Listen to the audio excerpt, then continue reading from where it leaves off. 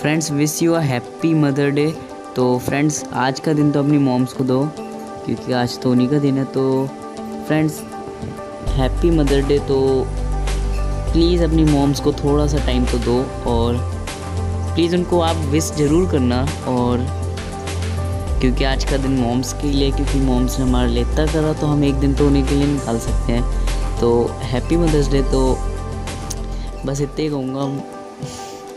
तो ठीक है फिर।